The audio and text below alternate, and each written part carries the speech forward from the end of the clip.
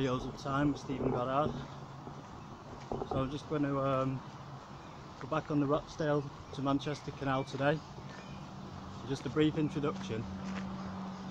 Um, I'm walking from Pilsworth over to Heywood, similar to when I walked to Middleton. So we're going to start with some of the um, reservoirs and mills in this area that would have existed.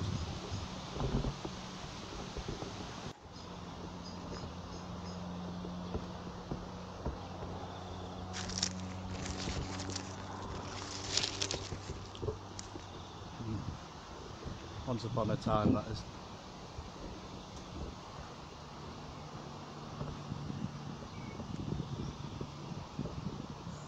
So today, just like the Phoenix, as usual, I'm going to attempt to bring Heywood and Rochdale via the canal back to life. That journey before the trains and roads. So we are travelling on foot over Hillsworth Moor. This is Hollins Brook area. It feeds this imaginative old lake system which of course has a strange twist and it just looks quite cool this I, I really do like it but I look at these and you can tell that they're designed and it's what's called bespoke but it's designed exactly the right size for the mill so then you can look at this lake and think oh yeah I understand how big the mill was and what age that mill was put in place. And you know they built one at a time didn't all go in at the same time and there would have been much smaller places which slowly grew just like the modern world. So that's what I don't just see a pond in the field here. I see like a, a, a taste of history if you like. Um, I was watching some information on YouTube some people you know canal enthusiasts and Manchester Rochdale Canal does get some bad reviews because it's it's in bad repair. You know, people in the Cotswolds are used to seeing flowers and wildlife along the canals and sunny days. This is a bit broken. It goes through the city. It's got some junk in it usually. It overflows and it's not the prettiest thing. But the canal we're going to cover, and we are covering in this playlist, is one of the oldest in history, and this actual canal changed the entire world. Everybody's life right now has been affected by this canal, this actual one. Um, it travels through Manchester city centre, through like the modern city centre that's been built in the year 2020. It's all internet based, you know, skyscrapers, and the canal flows through it. So to me, I think it is absolutely fantastic. And I know it rains, but you can't go to Manchester and say, oh, it's raining. That's just like going to Spain and saying it's too hot. You know, it's that's silly. And to say it's a bit grimy, this canal, it's supposed to be grimy. It's a part of history. so, that said, I shall explain the strange twist of this lake. So, the iron poles at the start they should be releasing water uh, for the old Pilsworth bleaching mill in the direction towards the sun, the direction the sun's shining from. But it's actually filling at that end, so the guy channel from a weir nearby is under the lake and in a pipe to get some pressure, and it goes underneath the lake and pops up at the wrong end. So the mill is on the far end and it's upstream. But at the point of Hollins Brook, it crosses the lake. Uh, there's a pump house. So I assume that crosses back this way and causes pressure. So you've got more pressure, uh, it's higher and it's less likely to have fish and frogs and things like that inside the mill. So there you go. It's a pressure pipe system. It's quite complicated. It just it looks just like any other lake, but it's an industrial pond. So I mean these are like um, electric substations. They're industrial, and I know people look at them and they look pretty now, but once upon a time they were full of oil and grime and bleach, and the canal was the same. but the canals and the, the industrial revolution in these areas changed the entire world. So I know they don't look pretty, but they weren't built to be pretty. They were the only thing. They were like the motorways of the time and the, you know, the workhouses of the time. So I think they look brilliant personally. Uh, Pilsworth Clough Mill was also further along. Uh, it has a dam, so possibly they had to share out the water between two mills from Hollins Brook running through Hollins Vale past Hollins House. Uh, that has now been demolished. So we are crossing over Siddal, Siddal Moor towards Bankscroft, an area which is now just a street called Bankscroft. And it's officially Heywood, but we will soon reach um, another section of the Rochdale Manchester Sowerby Bridge Canal. It's the Castleton train station and locks. The Rochdale Canal was conceived in 1776 when a group of 48 men from Rochdale raised £237. They commissioned James Brindley to conduct a survey of possible routes between Sowerby Bridge and Manchester. Brindley proposed a route similar to the one built and another more expensive route that was via Bury. Uh, further progress was not made until 1791. Um, John Rennie was asked to make a new survey in June that year, and two months later, to make surveys for branches to Rochdale, Oldham, and to lime works near Todmorden. Rennie at the time had no experience of building canals. Promoters, unsure as to whether to build a wide or narrow canal, postponed this decision until the Act of Parliament had been obtained. The first attempt to obtain an act was made in 1792. Uh, it was opposed by the mill owners concerned about the water supply. Rennie proposed using steam pumping engines, three in Yorkshire and eight in Lancashire, and one on the Burnley branch. So there's branches all along it to the places in Lancashire. Uh, but the mill owners argued that 59 mills would be affected by the scheme, resulting in massive unemployment.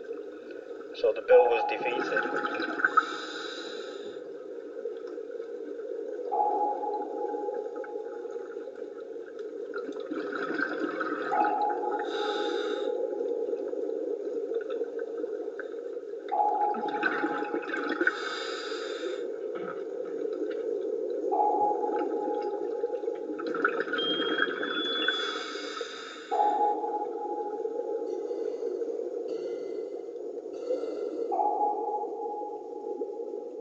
UK.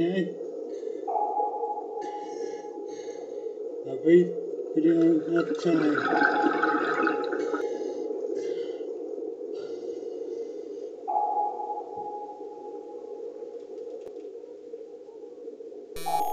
Whale can click at about 236 decibels. It's the loudest animal on the planet. Sperm whales can hear each other in the ocean from hundreds, even thousands of miles away. Some researchers believe that they're able to keep in contact with one another through these clicks on the other sides of the planet. Uh, these clicks are so powerful in the water that they can blow out your eardrums easily and they can actually vibrate a human body to death.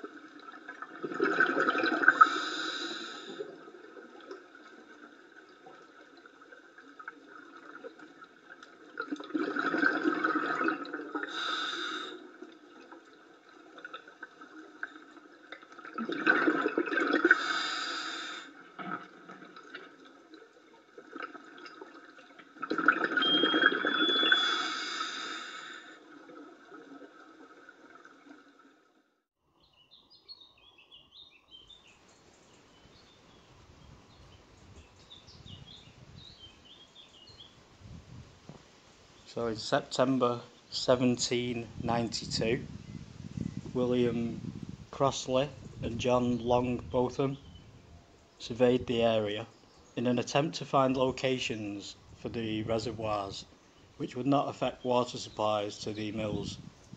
A second bill was presented to Parliament for a canal which would have 3,000 yard, 2,700 metre tunnel through the Pennines and 11 reservoirs. Again, the bill was defeated.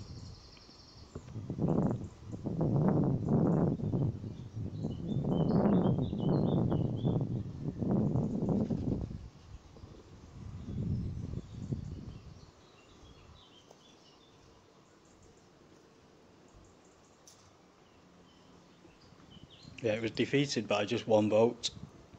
Uh, the promoters, in an attempt to understand the mill owner's position, asked William Jessop to survey the parts of the proposed canal that were causing the, like the most concern to people. Uh, Mr. Jessop gave evidence to the Parliamentary Committee, and on the 4th of April 1794, an act was obtained which created the Rochdale Canal Company and an authorised construction.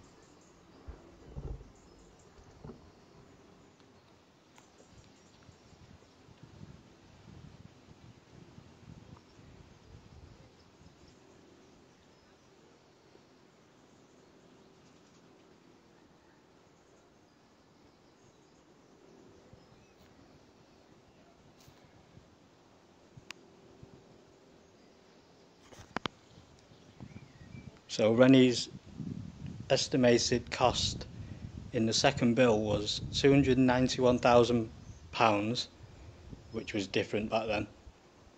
It not only was more money, it was shillings. Uh, and the company was empowered to raise the money by issuing shares. Uh, the powers to raise a further £100,000 if necessary. The estimate was for a narrow canal, whereas the Act authorised a broad canal, full-size canal.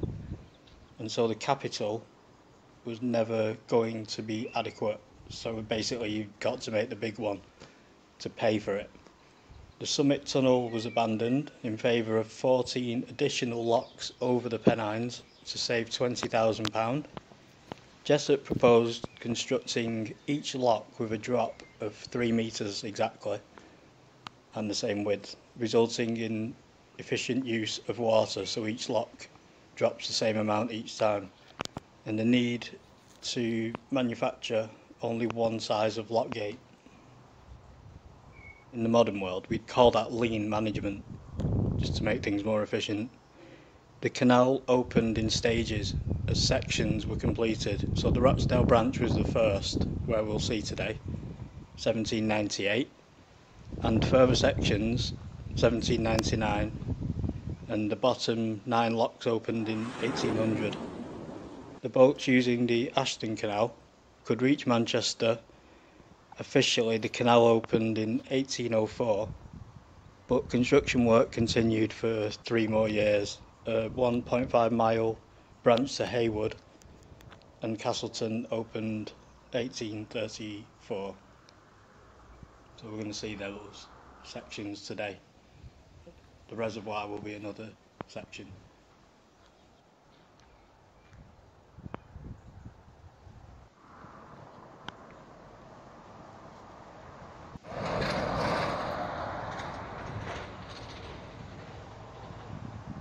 So I just um, filmed the truck passing by.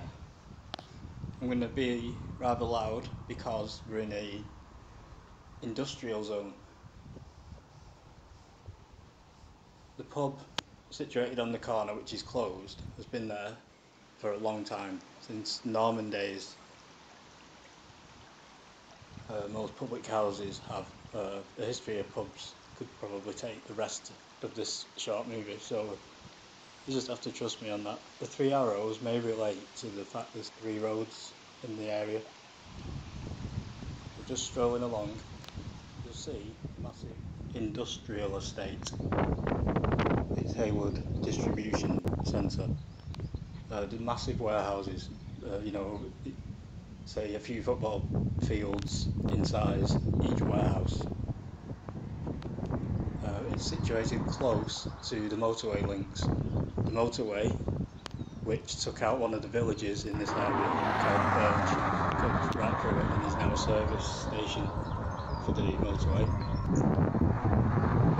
So on one side of the road, the road is what changes everything in the motor vehicle.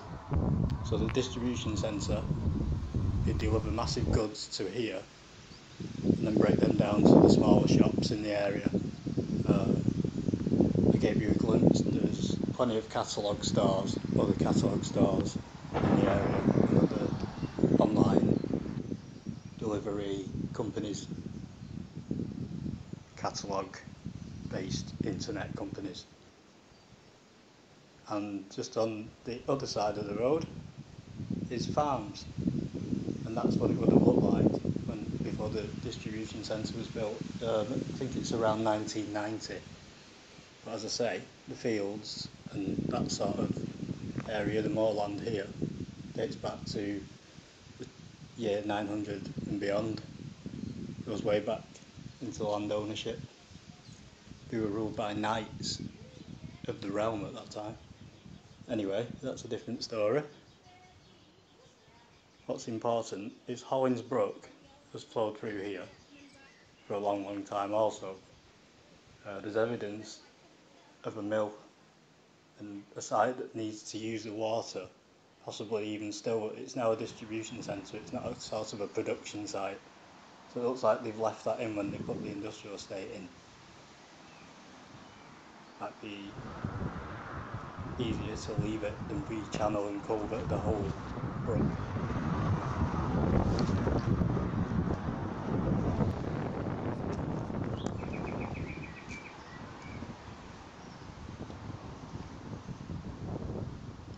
The first section begins here at Key Street on Manchester Road, Heywood.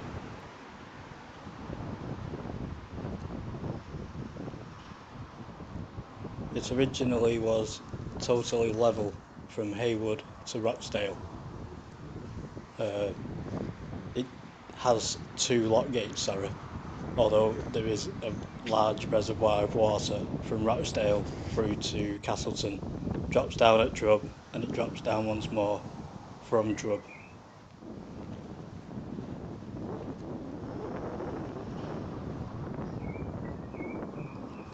There's just two locks between Heywood and the Rochdale Basin. Um, so remember, once it was just the quickest link, especially with no um, other farms, of, like the roads weren't very good. You had horses and cart, but they took a long time on you know, dirt tracks and cobbled streets. Uh, we'll find as much as possible of the canal today.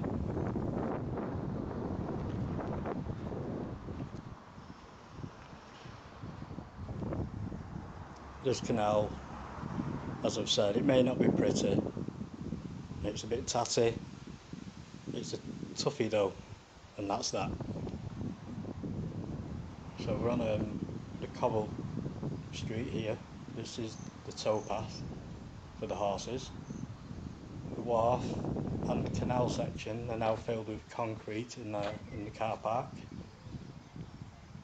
Uh, the far wall is the warehouse that was built at the same time as the wharf and that's obviously well gone now but the, that's the outside wall which goes right round but there's no roof and there's nothing inside. I think it's a private yard for a warehouse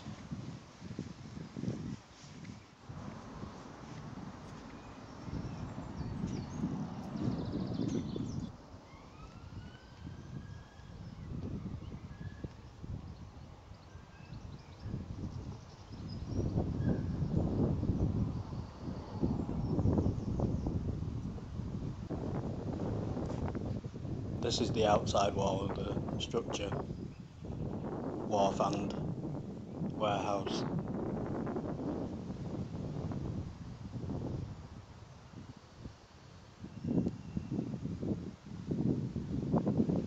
We're going to walk between the LYR Liverpool line and this wharf. It'd be nice to have a bit of a send off to resurrect our journey via the canal. They used to have big open days whenever they made these journeys for the first time. Just walk along this wall.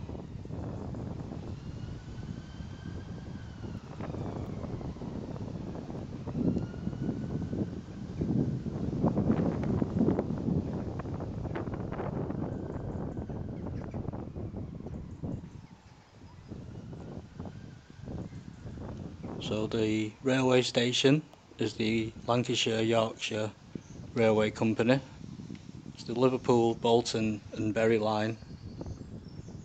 In 1848 this canal branch would be brand new along with the steam locomotives. Uh, sadly the horses would now slowly be retired but the air is going to get polluted. It is now the Industrial Revolution. Uh, the water and land is also going to get poisoned. This is the area of the Phoenix Brewery. The LYR working sheds were here also. As I said, they used to build things bespoke for the railways. Uh, Sefton Street and Sefton Mill. Once Lancashire and Manchester uh, were mainly was mainly farms, villages, shires, lords, and apparently was full of witches and unfortunate punishments for not paying your taxes. Beer was also a favourite pastime then, as it is now. So small breweries went big. Boddington's being probably the most famous of all. They started small, grew rapidly, but all collapsed to more popular lager beer. But drinking is still very much a part of this city, mainly socially. Uh, Topeth Moor Farm used to stand just up the road, and t- th- sand pits. Believe it or not, that was a road. Top of sand pits. See, that's old language. Phoenix Imperial Pale Ale was made at the brewery. Gem Table Ale. Double Stout. Uh, nutritious and wholesome beer. Green Lane, Heywood. Telephone 6231 won't get through anymore, would you?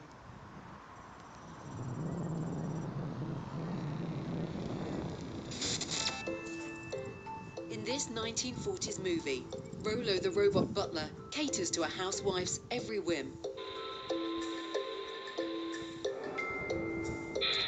Rolo, answer the door. Yes, ma'am. Rolo, kid. Her helpful chrome plated companion seems a dream come true. But not everyone likes the idea of a mechanical manservant. In 1940, a robot butler is only a daydream.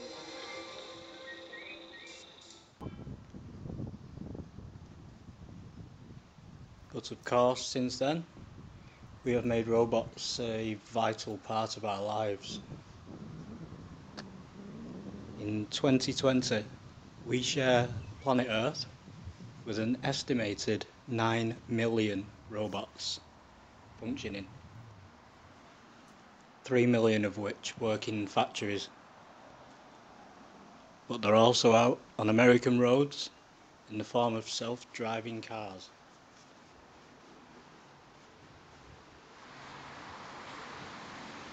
Railway Brow would have been the sidings for the LYR company's railway. It had over 16 separate tracks and lines started there.